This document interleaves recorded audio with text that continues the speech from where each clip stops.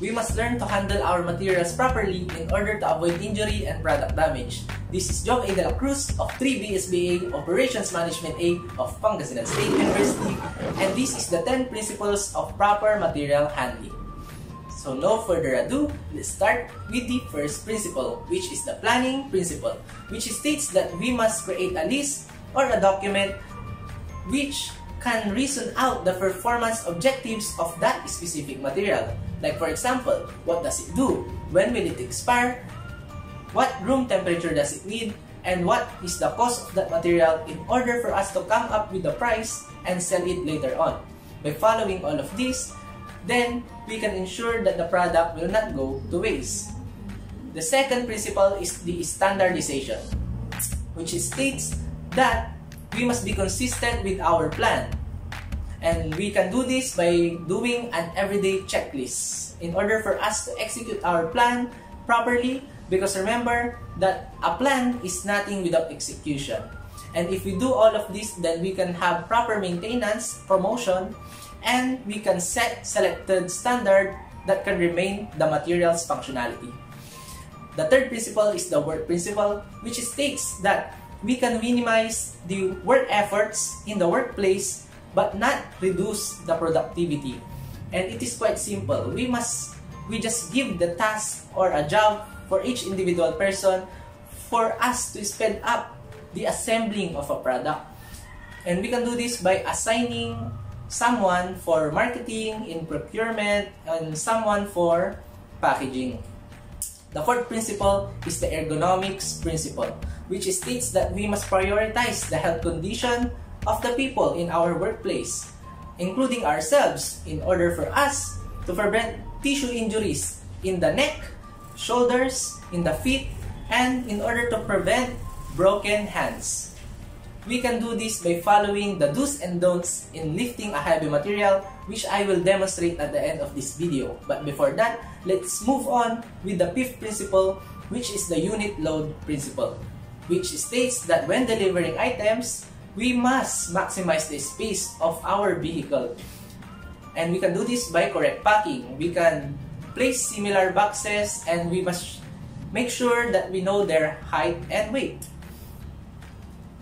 On the other hand, we have the sixth principle which is the space utilization principle which when proper handling in materials, we must have a warehouse. But before choosing a warehouse, we must measure the parameters first and we must measure the inventory stock we need in order for us to not overflow the warehouse. The seventh principle is the system principle, which we must create a system which we can recount the items individually in order for us to not lose money. We can also make a system where we can ensure the material quality from our suppliers in order for us to make or assemble a product in order for us to deliver it to the, our customers in their expected date. The eighth principle is the automation principle, which we must use technology or machineries like forklift, cranes, elevators, trucks for us to have enhancement in the movement of materials or transportation of the materials we have by not putting much of an effort in carrying them. The ninth principle is the environmental principle, which states that we must minimize the energy consumption in the workplace in order to save the environment from too much pollution caused by our vehicles and machineries. So we must avoid hazardous raw materials and so we can protect the environment from pollution.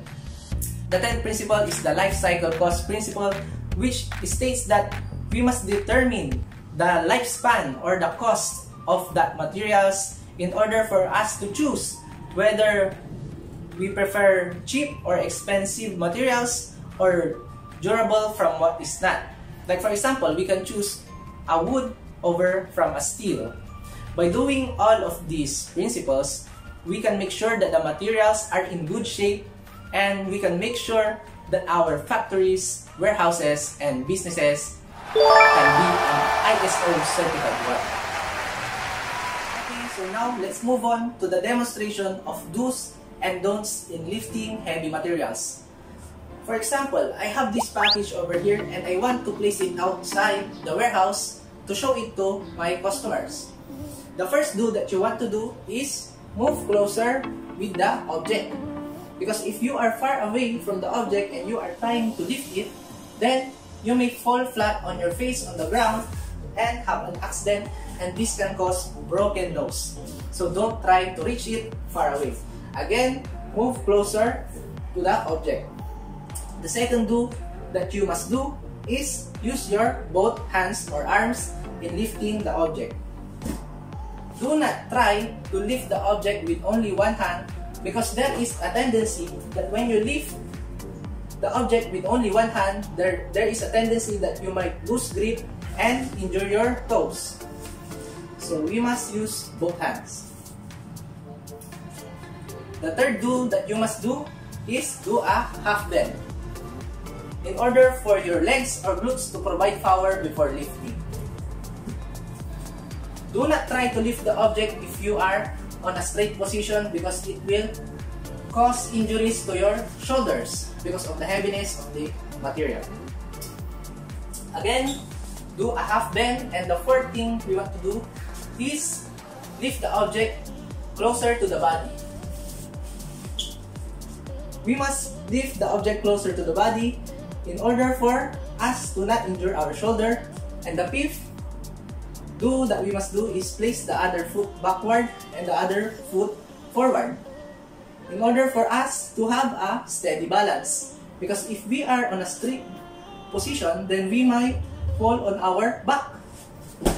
So again, the first step you want to do is move closer to the product. Use both hands in lifting. Do a half bend and lift the object. The last and the final step is to carry the material and walk slowly with caution. Observe your surroundings because you may fall down on some objects First blood. blocking the way Ginagawa ito.